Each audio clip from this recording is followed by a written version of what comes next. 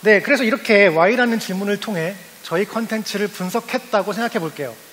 분석을 완료했으면 이제 컨텐츠를 만들어 봐야겠죠. 만약에 분석을 제대로 했다면 그 컨텐츠는 재미가 있을 겁니다. 그런데요, 과연 그 컨텐츠를 새롭다고 할 수 있을까요? 그 컨텐츠는 아마도 또 다른 형태의 굉장히 잘 만든 72초 드라마가 될 확률이 굉장히 높습니다. 여러분, Y라는 질문으로 분석을 하기 시작하면 생각이 점점 좁아지고 갇히기가 쉽습니다. Y라는 질문은 논리를 통해서 한 방향으로 파고 들어가는 질문이기 때문에 그 논리를 벗어나기가 매우 어렵습니다. 그러면 새로운 생각은 어디서 생기는 걸까요?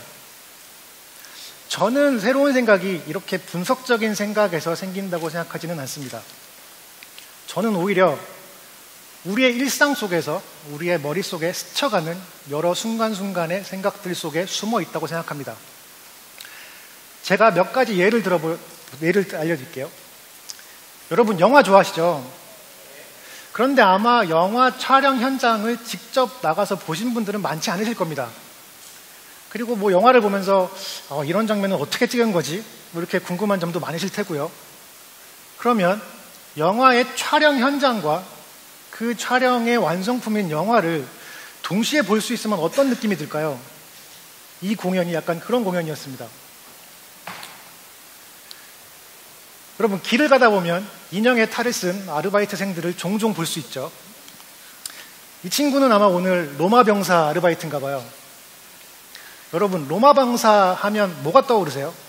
뭐, 영화 300이나 뭐 스파르타쿠스나 뭐 이런 데 나오는 아마 싸움 씬을 많은 분들이 떠올리실 텐데요. 여러분들이 지금 이 지하철 안에 있다고 생각해 보시고요. 눈앞에서 갑자기 로마 병사의 싸움이 재현됩니다. 네. 프로젝트명은 This Things Happen 이런 일이 벌어졌다이고요. 네. 네.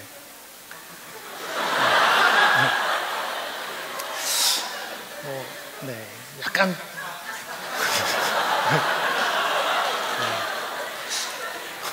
뭐 약간 미친 것 같기도 하고요. 네. 네. 하나만 더 말씀드릴게요. 실제 한 대학교의 기말고사 시험 시간입니다. 여러분 학창 시절에 시험 많이 보셨죠? 시험 시간이 굉장히 조용하잖아요. 근데 잘 들어보면 그 속에도 굉장히 많은 소리들이 존재합니다. 뭐 펜소리, 종이소리, 발소리 이런 소리들이 앙상블을 이루면 어떤 소리가 날까요? 지금 이 강연을 방송해주고 계시는 EBS와 함께 작업했던 프로젝트이긴 한데요. 저희가 문제를 출제했습니다. 그 시험의 1번 문제는 이거예요. 펜을 90도로 세워보세요. 대부분의 펜이 이렇게 서 있지 못합니다. 네, 그러면 펜들이 넘어지면서 소리가 나겠죠. 이 시험의 문제들은 전부 다 어떤 소리를 내도록 유도하는 문제들입니다. 학생들이 시험지를 받았어요. 아, 뭔가 이상해요. 근데 학점이 걸려 있죠. 시험을 봐야 돼요. 네. 아, 뭔가 이상합니다. 근데 문제를 풀어나가다 보니까 소리들이 들리기 시작하고 어느 순간부터 소리가 하나로 모이기 시작합니다. 몇몇 학생들이 긴장을 풀고 재미를 느끼기 시작합니다. 그리고 한 남학생의 환호 소리에 학생들은 이제야 시험 문제를 푸느라 내내 닫혀있던 귀를 엽니다.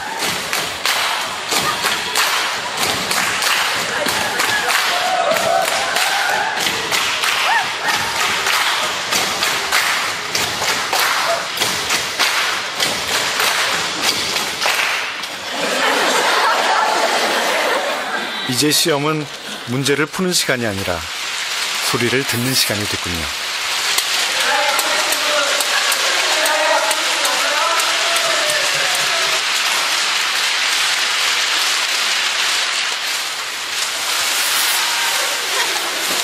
종이를 털고 찢고 구기고 한 번쯤 들었을 법한 소리가 같은 순간 하나로 모이니 더 경쾌하고 통쾌하네요.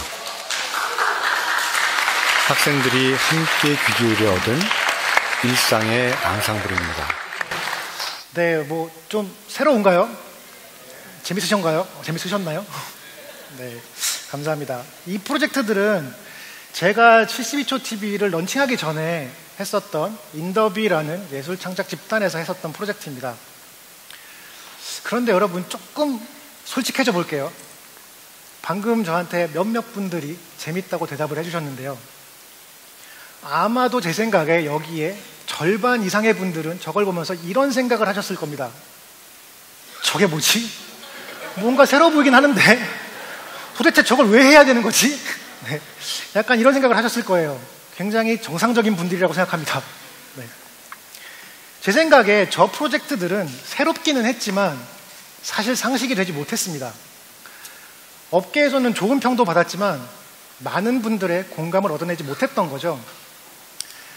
새로운 생각이 상식이 되기 위해서는 하나의 질문이 필요합니다. 바로 why not입니다. 저희가 인더비 시절에 저런 프로젝트들을 진행하려고 할 때면 주변 분들이 항상 그렇게 말씀하셨어요. 너넨 그걸 왜 하려고 하니? 그게 재밌니? 그러면 저희는 항상 자신있게 대답했죠. Why not? 왜 안 돼? 이거 니네들이 몰라서 모르는 거야. 우리가 만져서 보여주면 니네도 이해할 거야. 그렇게 저희는 열심히 Why not을 외치며 새로운 프로젝트들을 꾸준히 진행했고요. 그렇게 저희는 회사를 꾸준히 말아먹었습니다. 네.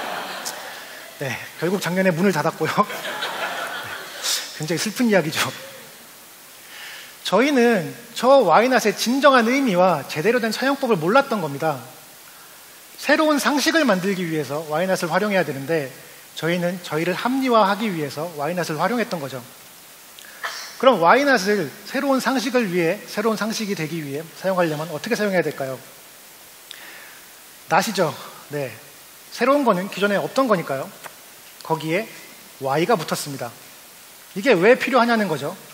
이게 지금까지 없던 건데, 지금까지 우리가 이거 없이도 잘 살아왔는데, 이게 왜 굳이 지금 여기 우리에게 필요하냐는 거죠. 이것이 있어야만 사람들에게 공감을 얻을 수 있고 상식이 될 수 있다는 겁니다. 그럼 저희 72초 드라마는 어떻게 해서 상식이 될 수 있었을까요? 지금 여러분들 주머니 혹은 가방 속에 핸드폰 하나씩은 가지고 계실 겁니다. 사실 그 핸드폰은요, 굉장히 성능이 좋은 개인용 TV나 마찬가지입니다. 여러분들은 이제 버스를 기다릴 때나 전철을 탈 때나 화장실에 갈 때 TV를 보실 수 있습니다. 그러다 보니 자연히 짬짬이 볼 수 있는 짧은 영상을 찾게 되고요. 그렇게 짧은 영상을 찾아 돌아다니다 보는데, 돌아다니던 가운데 72초 만에 끝나는 재밌는 드라마를 발견하게 됩니다. 아, 계속 보게 되죠. 그렇게 저희 72초 드라마는 현 시대의 한 줄기 상식이 되어가고 있는 것 같습니다. 여러분, Y하고 낫은요, 약간 사랑하는 연인 사이 같아요. 그 둘은 서로 따로 있을 때 자기만의 의미가 있습니다. 각자서에 뭐할 일도 있고요.